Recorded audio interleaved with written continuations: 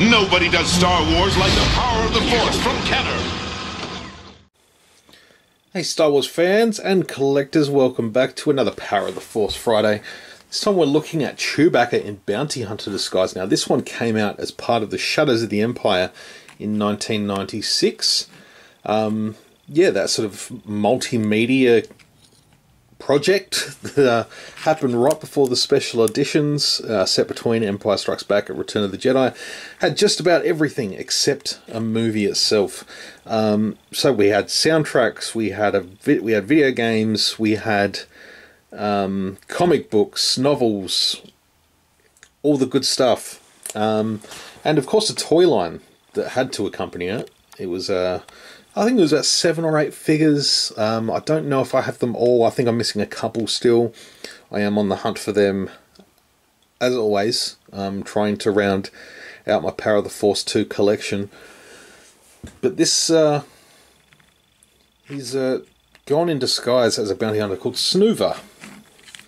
So uh, he's got a flat top, flat top haircut and an eye patch. And that was almost a way to. Um, retcon the fact that Chewie's hair is a little bit different in Return of the Jedi. That's because he gave himself a flat top hairdo, which is which is pretty cool. Um, he comes with these two sort of pretty beefy looking weapons. You know, it's typical power of the Force. You know, they had a bit of a creative creative license with the weapons, so this is uh, what he came with. And uh, this one here which uh, like a big big axe. Which did have a peg on the back, so you can peg it, peg it in there. You can have him armed and ready to swing that bad boy at, at some uh, some bad guys. So it's kind of cool. I like the design. I'd love to see like a uh, super recent, like an update of this figure, like a nice new Chewbacca in this outfit. I really like the, uh, I like the idea. Uh, for the most part, they've sort of just added to the original Chewbacca sculpt um, from Power of the Force because his his arms are all the same, the legs are the same, just with all the extra junk on him, basically, and a slightly different paint scheme. But for the most part, it is you know, they probably just remolded it and uh, tweaked it a little bit just to get this look. But he's pretty cool. So I've got the uh, page open here in the book. And there he is here.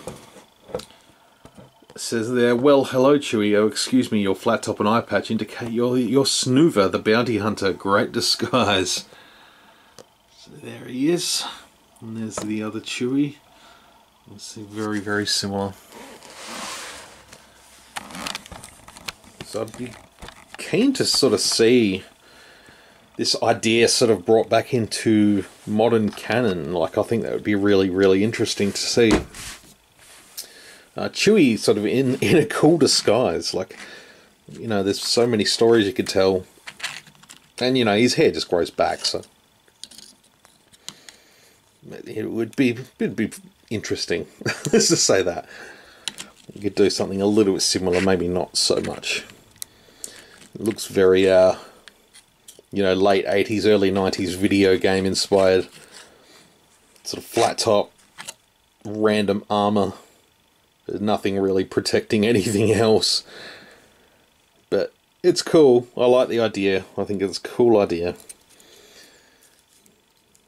Yeah, I like the uh, sort of cloth coming down on the back there.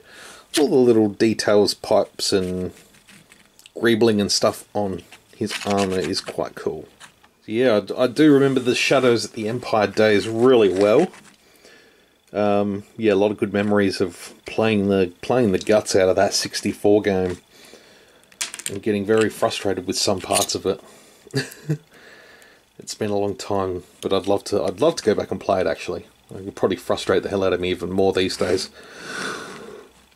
But uh, I'd love to hear your thoughts please drop them in the comments below. Do you remember Shadows of the Empire? Any good memories of Shadows of the Empire? What do you think of this figure? Um, yeah, anything that's on your mind? sound out in the comments below. If you like this video, please give it a thumbs up. That would be so awesome, and I'll be your best friend forever. Uh, if you haven't subscribed to the channel yet, please do, and I'll be your best, best friend forever. And hit the little notification bell so you can continue being best friends forever, ever, and ever. And you won't miss any future videos coming up in the future. So thank you very much for watching. Really do appreciate taking the time to watch. And uh, hope you've enjoyed it. Until next one, may the force be with you always.